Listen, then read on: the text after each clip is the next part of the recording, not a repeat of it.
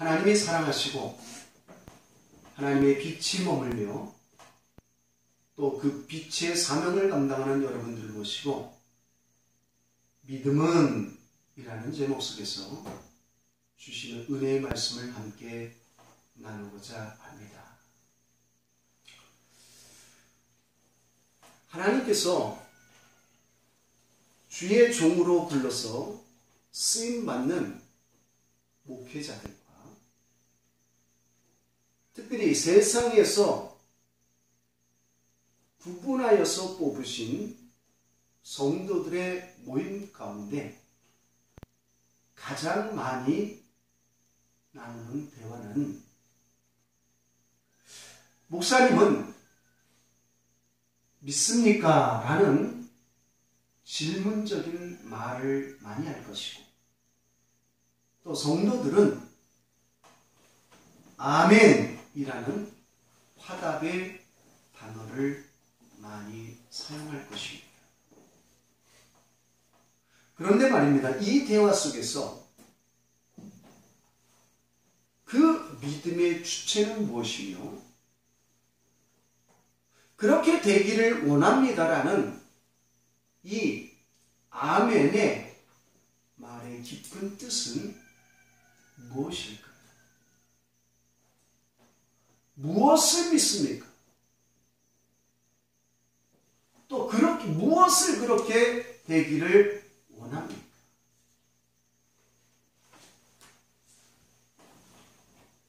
여기에는 그 내부에 믿음의 주체가 존재하고 있고 또 그 믿음의 주체에 말씀대로 그렇게 되기를 원한다라는 뜻이 함축되어져 있죠.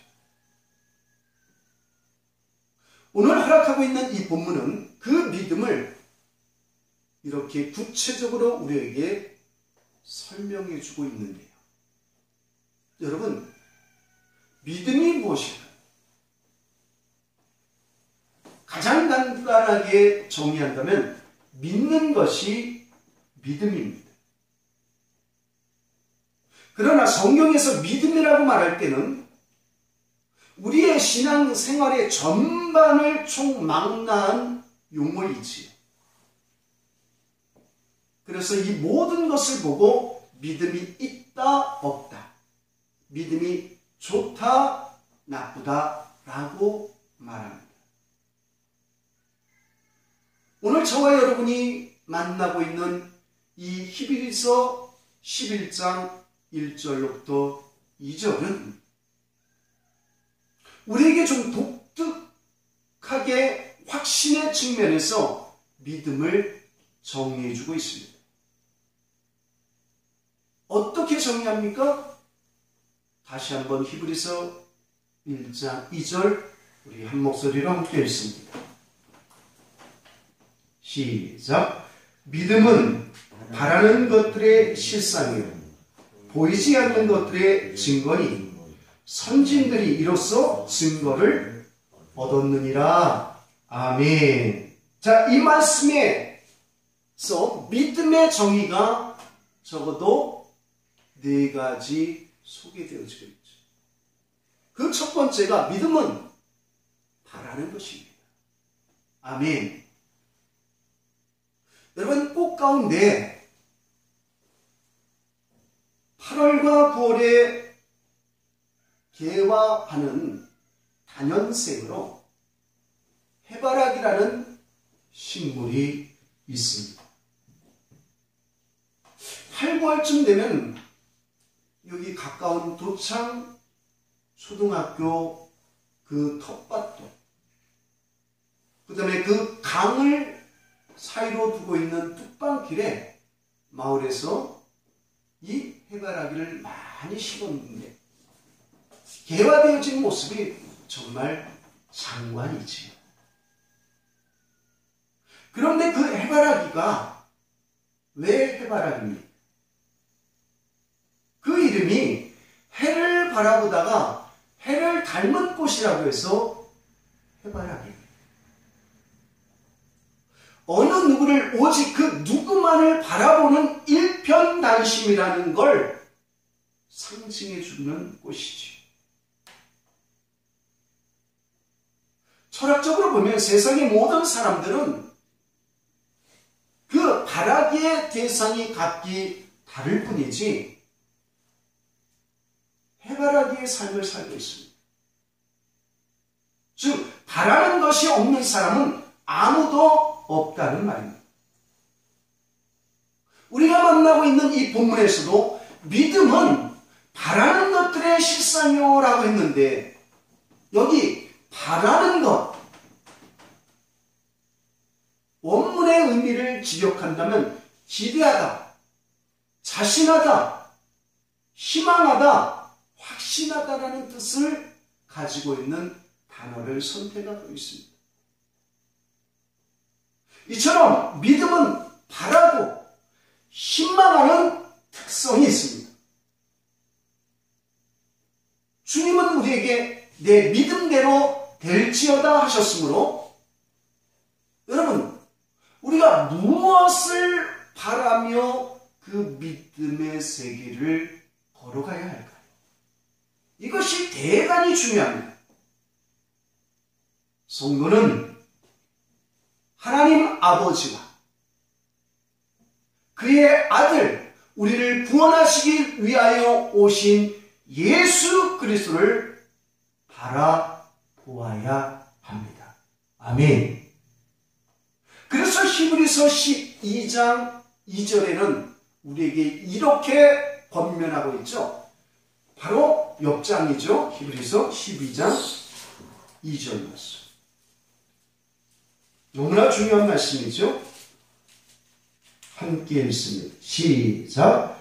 믿음의 주요 또 온전하게 하시는 이 예수를 바라보자.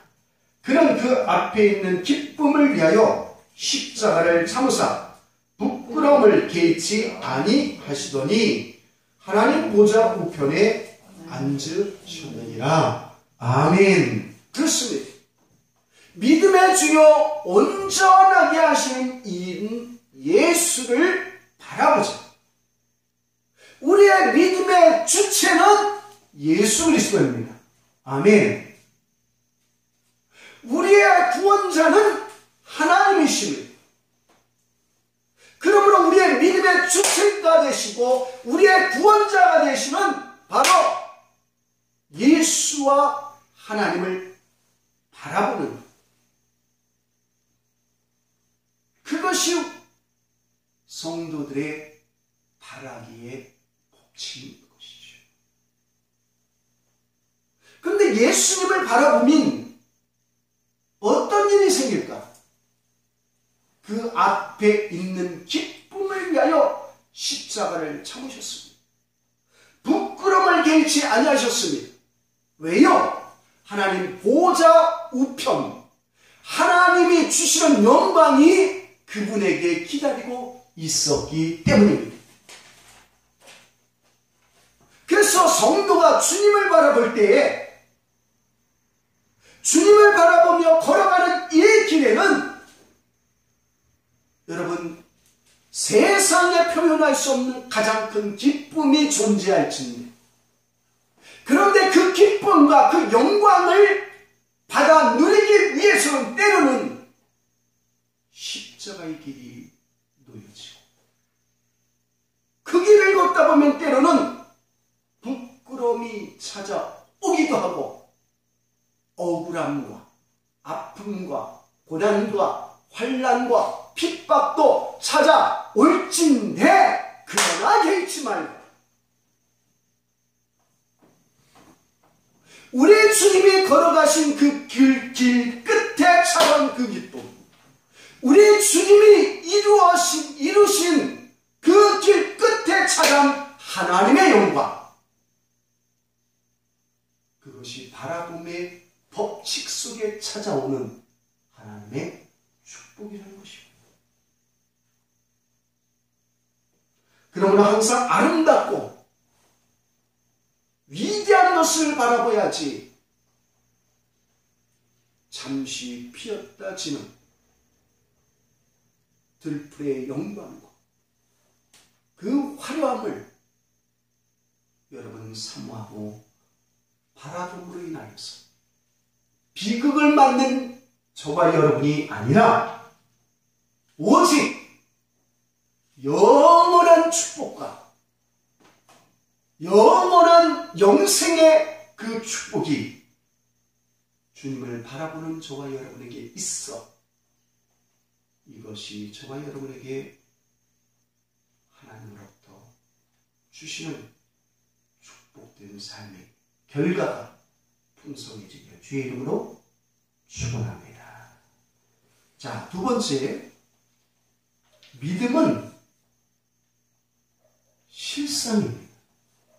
여러분 오늘 허락하고 있는 본문 히브리서 11장 1절 다시 한번 주목하고 함께 읽지요. 시작. 믿음은 바라는 것들의 실상이요 보이지 않는 것들의 증거니 아멘. 그렇습니다. 믿음은 바라는 것들의 실상이요. 여기 이 실상 그리고 이 증거는 모두 마음의 확신을 가리키고 있습니다. 믿음이란 이처럼 마음의 상태이지만 그것이 너무나도 뚜렷한 실체와 다름없게 느껴집니다. 그렇게 예수님이 믿어지고, 그렇게 천국이 믿어지고, 그렇게 성경이 믿어져야 합니다. 성도에게 있어서는 꿈을 꾸어도 하나님께서 주시는 꿈은 왜 그렇게 현실처럼 생생한지, 또 그런 꿈을 꾸실 때는 무슨 뜻인지 기도하는 하라는 건지 회개하라는 건지 곰곰이 생각해 볼 필요가 있습니다. 그런데 이 믿음은 현실만큼 생생해서는 부족한 면이 있습니다. 왜 그렇습니까? 현실보다 뚜렷해요. 왜냐하면 고린도서 4장 18절에 이렇게 우리에게 다가오는데요.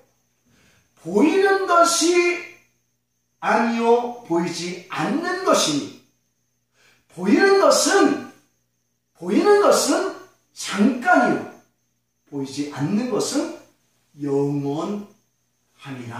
아멘. 여러분 이스라엘 백성들에게는 꿈이 있었습니다. 조상적부터 내려오는 하나님의 언약을 기인한 꿈. 430년 동안 애굽의 압제 속에서 그들이 신음합니다. 아파합니다. 자녀들의 미래가 너무나 불 투명합니다. 내가 내 나라가 없어서 애굽에 종살이하며 종노릇 하는 것은 좋지만 우리의 자녀들까지도 그들의 압제 속에서 희망 없이 산다는 것은 부모들의 입장 속에서는 너무나 바라볼 수가 없는 안타까움이죠. 그래서 그들이 하나님 앞에 옵니다. 그래서 그들이 하나님 앞에 신음을 토합니다. 그런데 놀랍게도 하나님은 이 이스라엘 백성들을 이 이스라엘 백성들의 작은 신음을 외면하지 않습니다. 드디어 하나님의 때에 모세라는 한 인물을 그들의 지도자로 세워서 그들에게 약속했던 자유, 이 애굽으로부터의 내 길을 열어 주십니다. 그런데 말이죠. 이 꿈을 이뤄가는 그 과정 속에서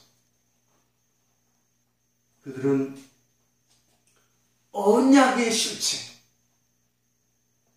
하나님의 약속, 그리고 그 꿈을 실현시키는 하나님의 놀라운 손을 바라보기보다는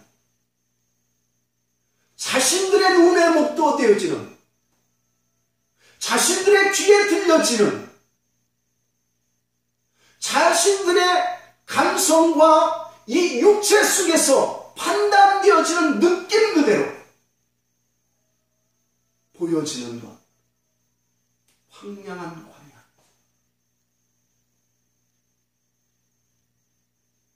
물이 없는 사막. 척박하기 그지 없는 나무와 풀한 포기도 보이지 아니하는 이 허허 벌판. 그들이 느껴지고 그들이 시각적으로 다가오는 이 모든 현상은 낙심을 주는 환경이었습니다. 그러다 보니 그들이 이 보여지는 것들로 인하여서 그들의 꿈보다도 그들의 믿음의 주체 되시는 하나님의 언약보다도 그리고 이 일을 실현시키는 하나님의 능력의 손보다도 보여지는 이 환경으로 인하여서 원망합니다. 불평합니다. 지도자를 향하여서 돌을 던지려 듭니다. 믿음이 없어서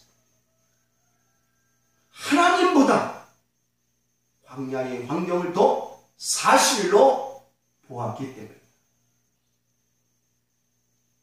여기서 우리가 느낄 수 있는 것은 여러분 육신의 눈에 보이는 것에 속지 말아야 된다는 것입니다. 내 주어진 환경 속에 들려오는 소식에 속지 말아야 된다는 것입니다. 오히려 그러한 환경 속에서 오히려 그렇게 보여지는 이 상황 속에서 우리는 믿음으로 감대해야 할 필요가 있다는 것입니다. 열왕기 6장을 보면 아람 군대가 엘리사를 잡으려고 도단성을 에워쌉니다. 그런데 그 군대가 어마어마합니다.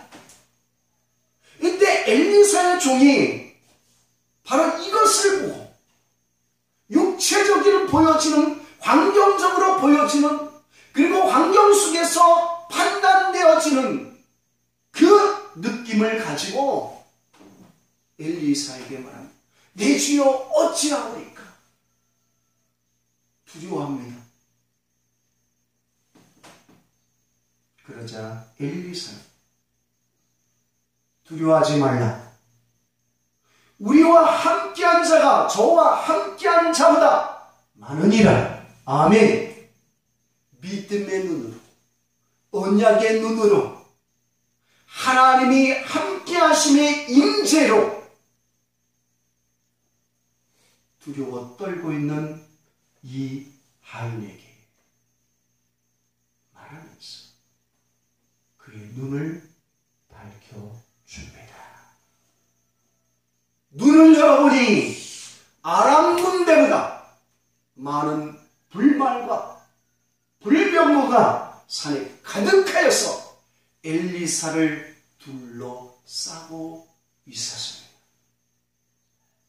아람 군대만 보지 말고 함께 하시는 하나님을 바라보는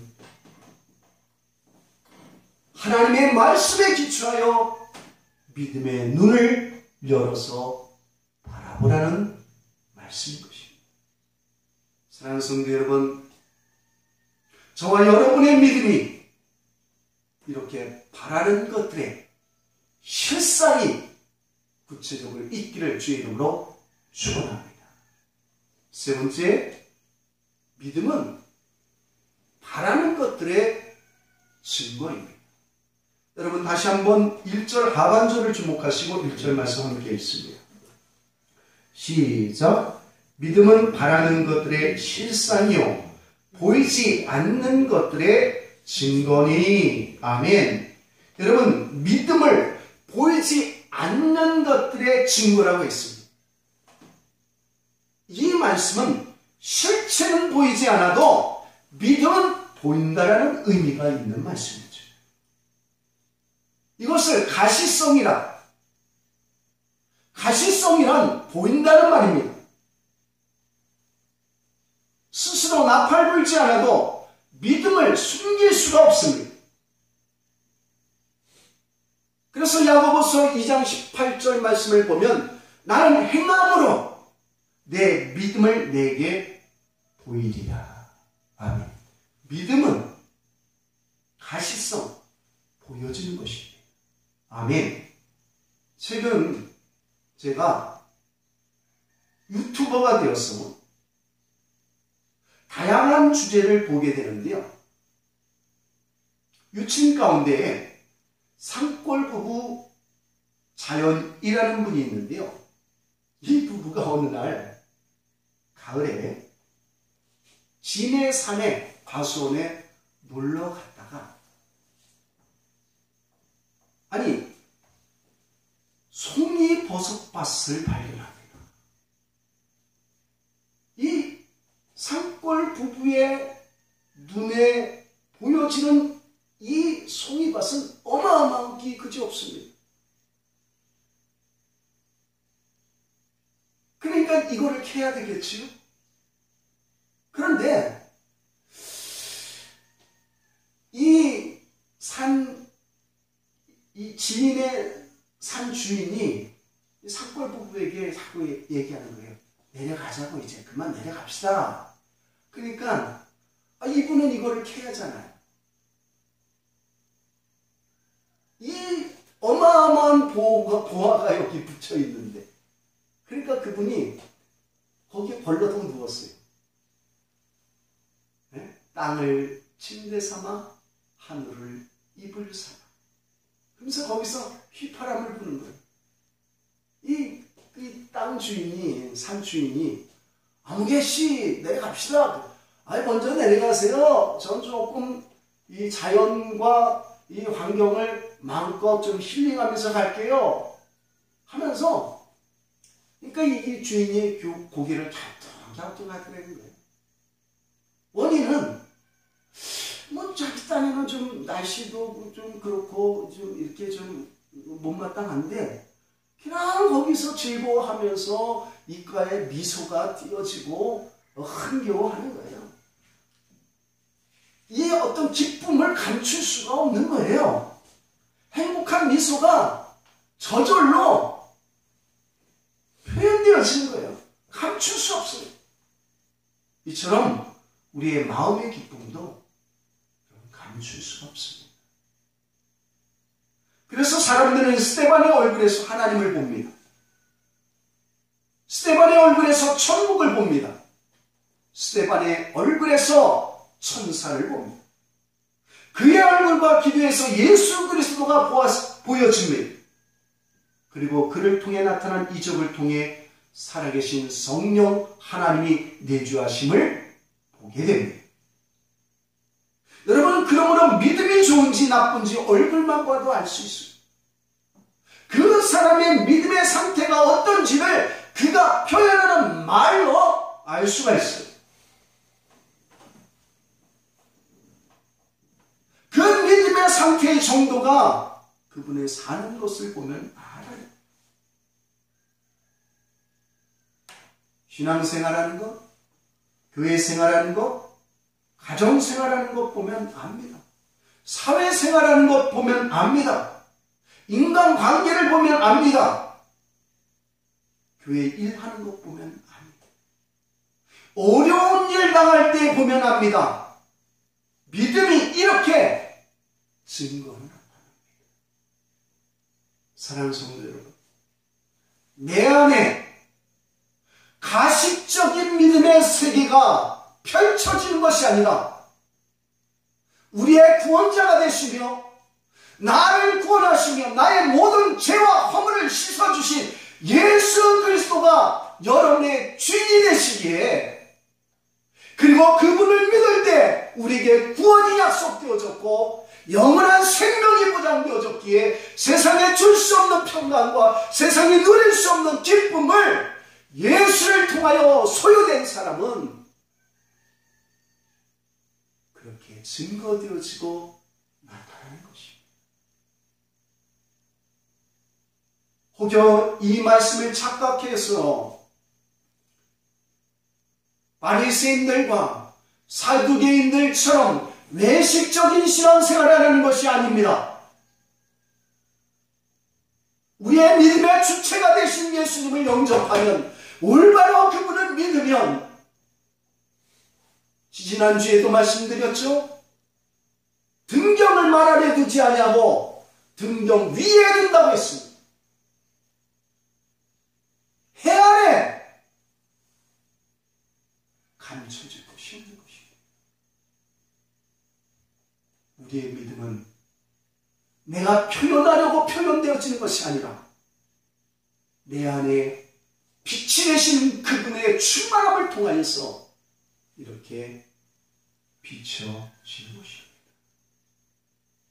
그러므로 믿음은 실상이며 증거입니다. 여러분, 이 증거에 축복된 믿음의 생활이 저와 여러분에게 풍성히 있기를 주의 이름으로 축원합니다. 네 번째, 믿음은 선진들의 증거를 믿는 것입니다. 여러분 2절 말씀 다시 한번 주목하고 함께 있습니다. 시작. 선진들이 이로써 증거를 얻었느니라. 아멘. 우리의 신앙의 선진들도 다 그 믿음으로 살았고 언약의 말씀을 살다 보니 그 삶이 풍성해졌고 그 삶이 행복했고 그 삶이 평강이 넘쳤고 그 삶이 형통했고 그 삶이 축복되어졌습니다. 아멘. 그들의 인생에 기적이 있었습니다. 아멘. 성경의 믿음의 선진들의 기록한 모든 이야기들은 하나님이 함께 하셨던 그들의 삶의 구체적인 증거, 실상이었고 간증인 것입니다. 그래서 아브라함의 하나님이 나의 하나님이 되어지는 것이고 엘리야의 하나님이 나의 하나님이 되시는 것이고 다윗의 하나님이 나의 하나님이 되어지는 것입니다. 그때 그들이 체험했던 것을 오늘날 우리들이 동일하게 체험합니다. 철로 역정과 같이 성도들이 가는 천국의 길의 환경은 예나 지금이나 다른 것이 아닙니다.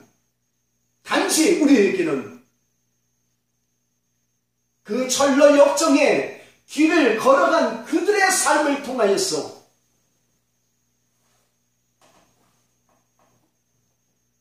누가 걷지 않는 길을 가서 길을 만들어내는 것보다 우리는 말씀에 기초하여서 그들의 삶에 기초하여서 그 길을 그 발자취를 따라가면 그들보다 좀 용이한 신앙생활을 할 수 있는 것이겠지. 그래서 에베소서 4장 4절로부터 6절에는 이런 말씀이 소개되어지고 있습니다. 몸이 하나요. 성령도 한 분이시니 이와 같이 너희가 부르심의 한 소망 안에서 부르심을 받았느니 주도 한 분이시요 믿음도 하나요 세례도 하나요 하나님도 한 분이시니 곧 만유의 아버지십니다. 아멘. 선진들이 믿었던 하나님, 우리의 하나님이십니다. 아멘. 선진들의 그 고난과 아픔과 환란과 핍박으로부터 그들을 건져주신 하나님이 우리의 아버지 하나님이십니다. 그들이 아파할 때, 그들이 괴로워할 때, 그들이 외로워할 때, 친구가 되어주신 영원한 주님이 우리의 주가 되시는 것입니다. 여러분, 한 사람만 예수님을 만난 것이 아닙니다. 많은 사람들이 만났습니다. 한 사람만 은혜 받은 것이 아닙니다. 많은 사람들이 받았습니다. 노아가 갔던 그 길, 아브라함이 갔던 그 길, 주님이 앞서 가셨던 그 길을 조금 더 의심하지 말고 따라가십시오. 우리의 신앙은 동질성이 있기 때문입니다. 그래서 한 시는 히브리서 12장 1절과 2절의 말씀을 근거로 해서 다음과 같이 찬양하고 있죠. 우리 함께 이 찬양을 고백해 봅시다. 예수를 깊이 생각하자.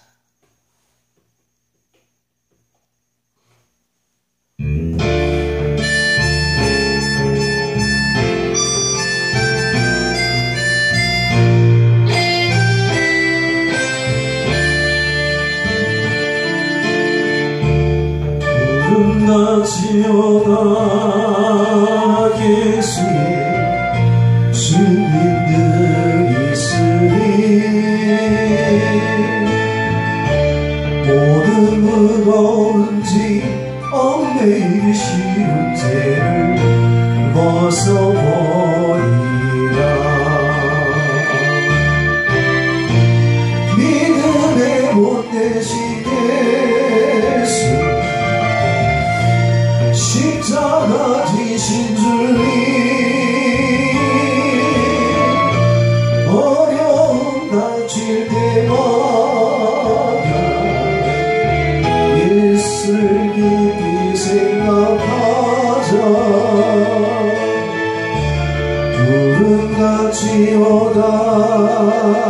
예수의 증인들 있으니 모든 무거운 짐 얽매이기 쉬운 죄를 벗어버리라